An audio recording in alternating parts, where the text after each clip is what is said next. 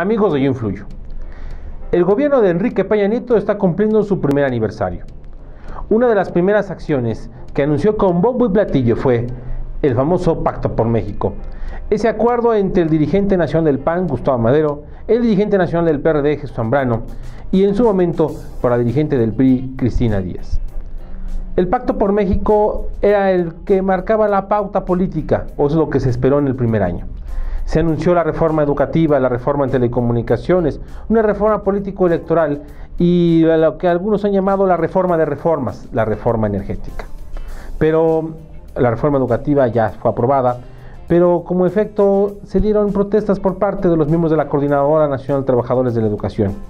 Por otro lado, la reforma en telecomunicaciones aún no termina de adecuarse en su ley secundaria.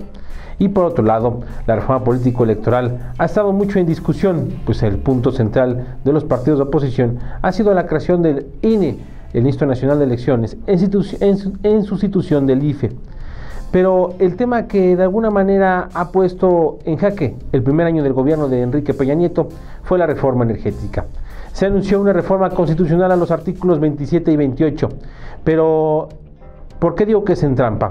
Porque apenas hace unos días Jesús Zambrano, de manera oficial, ha anunciado el retiro de su partido de este pacto. Dicen que no van a aceptar ninguna modificación a la reforma energética, que el PRI y el PAN han ido a hacer acuerdos en lo oscurito y que no han sido tomados en cuenta. Lo que es un hecho es que Jesús Zambrano se está viendo a futuro lo que en 2014 será sin lugar a dudas su futuro político. Y más que el futuro de él, el futuro de la corriente nueva izquierda, los famosos chuchos, quienes en el proceso de renovación tienen su carta fuerte a Carlos Navarrete y que han visto de alguna otra manera que las otras fuerzas al interior de su partido, las famosas tribus, de alguna manera están buscando adueñarse del partido que han tenido controlado en, en la última década.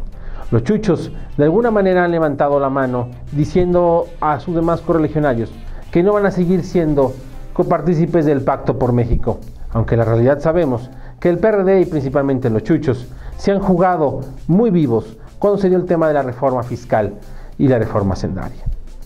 Habría que pensar, amigos, qué es lo que realmente va a pasar eh, después o cuál va a ser la gran evaluación del primer año del gobierno de Enrique Peña Nieto. Si el pacto efectivamente ya murió o solamente es un descanso por las fechas decembrinas.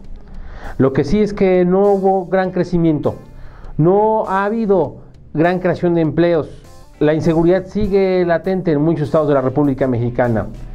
La expectativa que nos generó Enrique Peña Nieto no se ha dado en este primer año. Vamos a esperar si en los próximos cinco siguientes años habrá algo que realmente nos haga sentir a los mexicanos que nos sentimos en un país en desarrollo. Para yoinfluyo.com, Guillermo Torres Quiros.